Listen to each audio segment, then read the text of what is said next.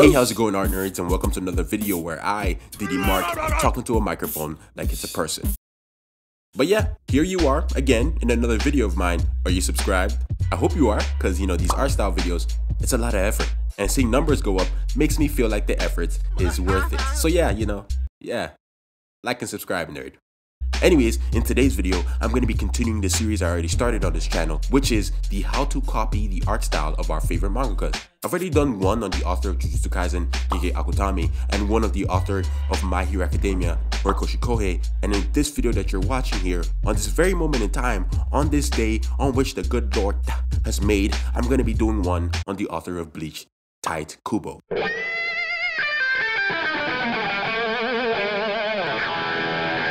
Or Tite Kubo. Tite, Tite, Kubo. Tite. I don't know if I'm pronouncing that right. I've heard some people say tight. I've also heard some say Tite. I, I don't know. Just let me know in the comments how to pronounce it. I'm just gonna say tight for now. But yeah, like the last video, I, Diddy Douchebag, do not condone you copy anyone else's art style. Why? I don't know, because that's lame. Why not make your own and be unique? but yeah, also, just because you watch this video and you see me be somewhat successful at imitating the style, doesn't mean that you can too. Well, not unless you understand the drawing fundamentals to a certain degree, because if you don't and you attempt to do this, you might get upset when your drawing ends up looking like a wet spaghetti with eyes and ears. So yeah, I don't recommend doing all this unless you know what you're doing. Okay, all of that aside, let's get into it. So like we did for Akutami and Kohei in the previous videos, we're gonna dissect Kubo's art style by analyzing the anatomy, the inking, and then the toning style. And after all of that, I'm gonna draw one of my original characters in the Bleach art style. Let's go. Okay, so the anatomy in Bleach. Basically, if the operative word for Akutami's style was sharp edges and the operative word for Kohei's was minimalist as fuck, the operative word for Kubo's art style is noodly. What that mean? It means that this man Kubo be drawing his characters long as heck everywhere, bruh. Like their torsos are long, their feet are long, their hands, their freaking necks, their eyes, their noses, like even their jaws be long. Like look at it. It looks like a knife. Especially the male characters, man. Like their jaws look like they could cut a cake. cut a cake. okay, okay. Now how I said it makes it sound bad, but it really works. And like Kohei, Kubo's art is one of the most beloved and aesthetically pleasing to the manga community. By the way, I'm gonna say this now because I forgot to say this earlier. But in this entire video, I'm referring to Kubo's later art style in Bleach, not the earlier ones. Yeah, I just, I just thought I mentioned that. Yeah, but yeah, where, where were we? Oh yeah, anatomy. Basically, Kubo draws body parts to look a little stringier and longer than they are. Like even muscular characters have a certain leanness to them, and I think it's this aspect that makes his art style really cool. I will say that the exception to this stringy characters rules that I noticed was the way in which Kubo draws female character faces. Those are a lot more rounder in the face shape and eyes unlike the male characters, and the noses in the females are shorter than they are in the males. But yeah, that's basically the main gist of things for Kubo's anatomy style. Now, let's move on to the way he inks. Okay, Kubo's inking style is basically the standard of inking for manga. You know, like Naruto and My Hero, but like, you know, there's something to it that makes it different. And I think that difference is because although the line art is clean, I would make the guess that Kubo makes shorter strokes when he inks, as opposed to longer ones of the standard inking style. And this makes his, you know, inking style a little rougher. And this also, you know, kind of adds to making it stand out from the other standardly inked mangas, you know, like Naruto and such.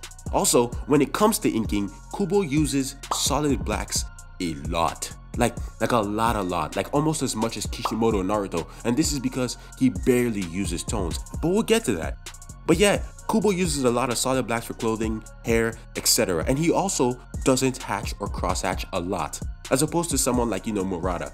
However, when he does hatch, he uses this specific cross-hatching technique here all the time. He rarely uses the regular cross-hatching technique, and he rarely uses parallel line hatching like the way Gege Akutami does.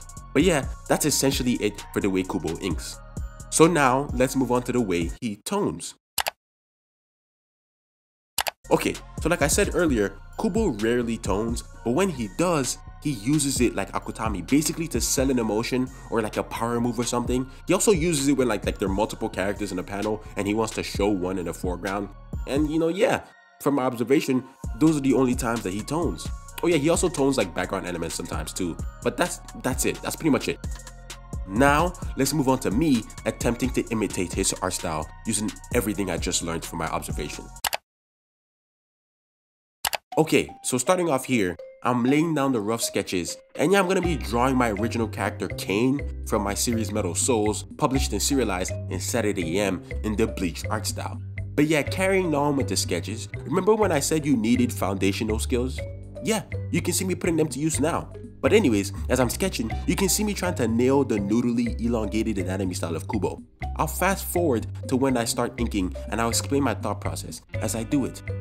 Okay, now I've laid out the sketches and I've started inking. So as I'm inking now, you see me trying to nail those short strokes we talked about earlier while I maintain a cleanliness to the line art. And eventually, you'll see me using that specific cross-hatching technique under Kane's neck. And you'll also see me use a lot of solid blacks for the clothing. Lastly, for the toning, like I said earlier, Kubo rarely uses tones, but what I did not mention earlier was that going off of the few people of color in Bleach, Kubo does tone their skin darker, like you see me do with my character right here. And there you have it, the completed work. You know, now is it completely identical to Bleach's art style? No. Is it similar? Definitely. But it certainly isn't 100%. And like I said in the previous video, the more you keep practicing, the closer yours will inch to the 100% identical mark. But remember, it'll never get there. It'll never be 100% identical because, like I said in previous videos, an art style is like a signature.